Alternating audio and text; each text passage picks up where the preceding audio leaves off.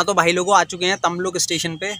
हावड़ा से बैठे थे सुबह और अभी सवा आठ का टाइम हो रहा है। शक्तिपीठ के दर्शन करने आए हैं। विभाष शक्तिपीठ कपालिनी और बर्ग भीमा और भीम रूपा ये इतने सारे नाम है माता के। तो माता के भक्तों यहाँ जो है माता का लेफ़्ट एंकल गिरा था और डिस्ट्रिक्ट है ये पूर्वा मेदिनीपुर। और जो पास का स्टेशन है वो है तमलुक जो ढाई किलोमीटर है। और मंदिर का टाइम है सुबह छः बजे से नौ बजे तक। अराउंड एक घंटा तो लगता ही होगा दर्शन करने में। ऐसा मैंने गूगल पर सर्च किया था। और बाकी अभी ऑटो में बैठा हूँ। यहाँ से टोटो जो है, ये ई रिक्शा जो है, बीस रुपये एक आदमी ले रहा है, ठीक है? तो पैदल भी जा सकते हो, टाइम के ऊपर है। फ़िलहाल हम तो ऑटो से जा रहे हैं, क्योंकि हमारे पास लगे हैं। चलती हैं, तीसरा शक्तिपीठ है हमारा, इस यात्रा का। तो जुड़े रहिएगा, सारे शक्तिपीठों के दर्शन से। जय माता की। तो माता के भक्तों, अगर यहाँ तमलुक आ रहे हो तो कोशिश करो कि अर्ली मॉर्निंग की ट्रेन ले लो, क्योंकि यहाँ से हावड़ा के लिए ज़्यादातर ट्रेन तो है नहीं। तो मैं सुबह बैठा था, पौने छः बजे हावड़ा से लोकल ट्रेन में और पच्चीस रुपये उसका किराया है और बिल्कुल ऑन टाइम चलती है तो कोई लेट की दिक्कत ही नहीं है और वापसी में अब तीन साढ़े तीन बजे ट्रेन है दोबारा हावड़ा के लिए। तो आज पूरे दिन हम एक ही शक्ति दर्शन करेंगे कल हमने दो करे थे और कल शायद तीन चार कर सकते हैं। बाकी जैसी माता की इच्छा।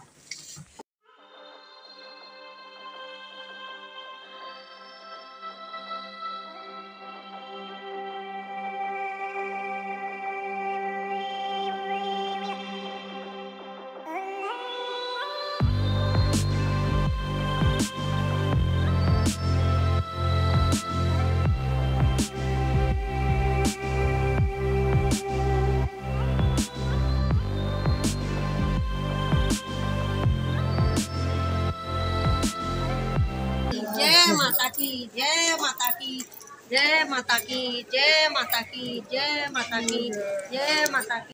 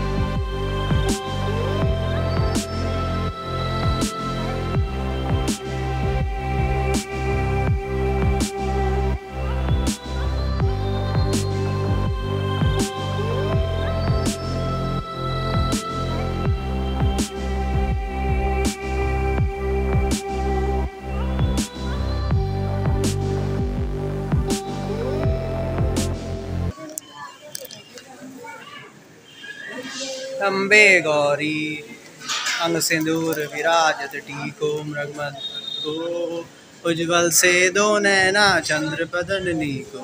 ओम जय अम्बे गौरी, समान कलेवर रक्तांबर राजे पुष्प माला कंठन पर साजे। जय अम्बे गौरी काहन राजत खटक धारी सुर नर मुनि जन सेवक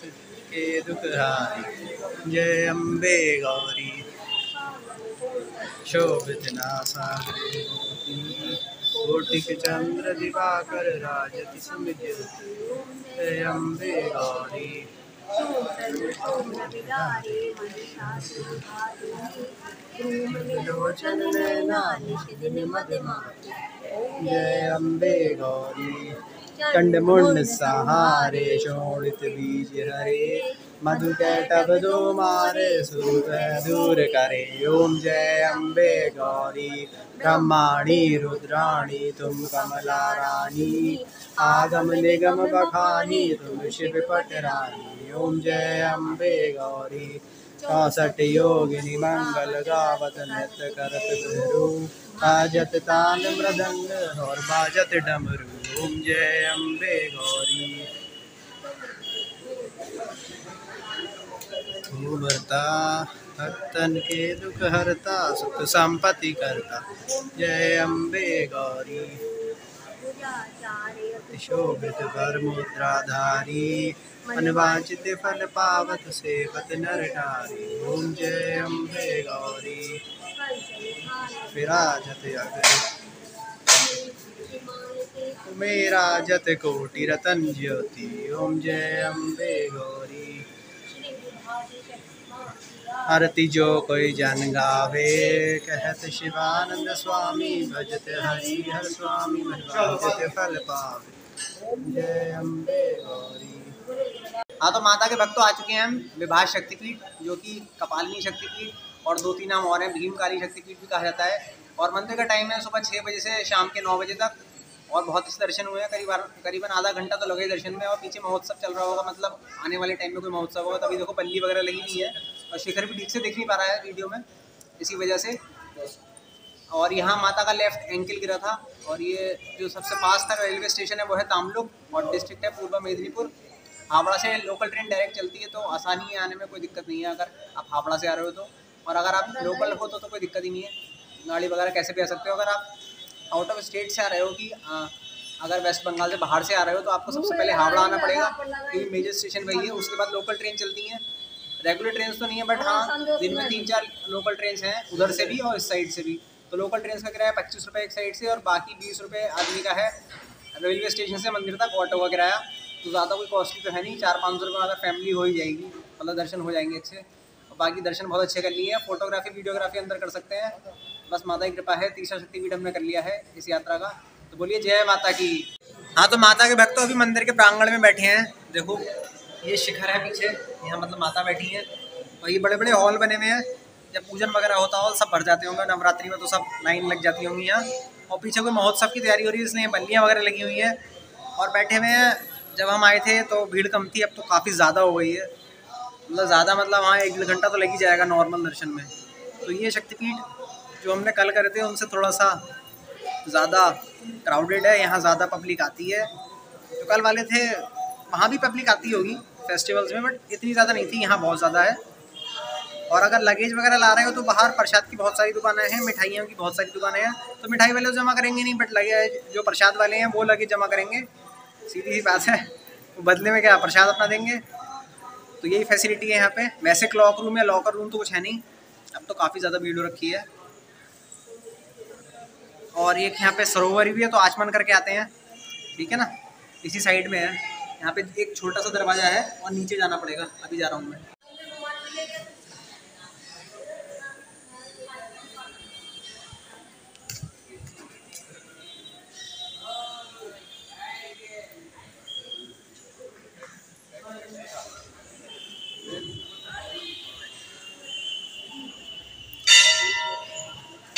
हाँ तो भाई लोगों ये है देखो कुंड। अब आचमन करने चलते हैं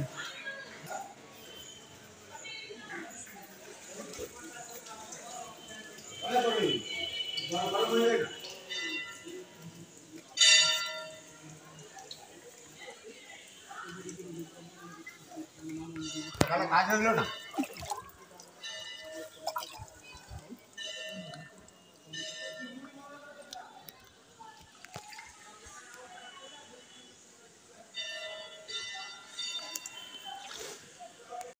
फ़िलहाल जो सरोवर है, वो बस आचमन लायक ही है। बाकी नहा भी सकते हो, कुछ ज़्यादा सफ़ाई तो है नहीं। जब त्यौहार वगैरह होते होंगे तो हो सकता है सफ़ाई होती हो। फ़िलहाल आज तो दिख नहीं रही कुछ ज़्यादा सफ़ाई। और गर्मी हो रखी है, देखो पसीने कितने ज़्यादा आ रखे हैं। जबकि बारिश का मौसम सुबह हो रहा था बट अब फिर ख़राब हो गया है। और ये है पीछे शिखर। तो अगर टाइम लेके आ रहे हो ना, तभी सही है। जल्दी जल्दी में आओगे तो काम ख़राब हो जाएगा। अप्रॉक्स दो तीन घंटे तो लेके आना ही आना। दर्शन के लिए, क्योंकि मुझे इतना टाइम तो लगे नहीं वाला है, अगर दोपहर या शाम को आ रहे हो। सुबह अर्ली मॉर्निंग आ रहे हो तो अलग बात है। चलिए, अब चलने का टाइम हो गया है। वैसे हमारे पास टाइम बहुत है, अब खाना वाना कुछ खा लेते हैं। ब्रेकफास्ट करते हैं, अभी तो नौ, साढ़े नौ के टाइम हुआ है।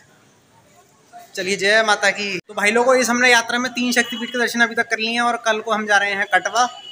तो नेक्स्ट वीडियो में जो भी शक्तिपीठ करने वाले हैं मतलब जहाँ की बस हमें सबसे पहले मिलेगी तो वो करेंगे। तो सब्सक्राइब करना, अगर वीडियो पसंद आए ये वाली तो लाइक करना और अगर इस मंदिर से रिलेटेड कुछ भी पूछना हो तो कमेंट करो, ठीक है?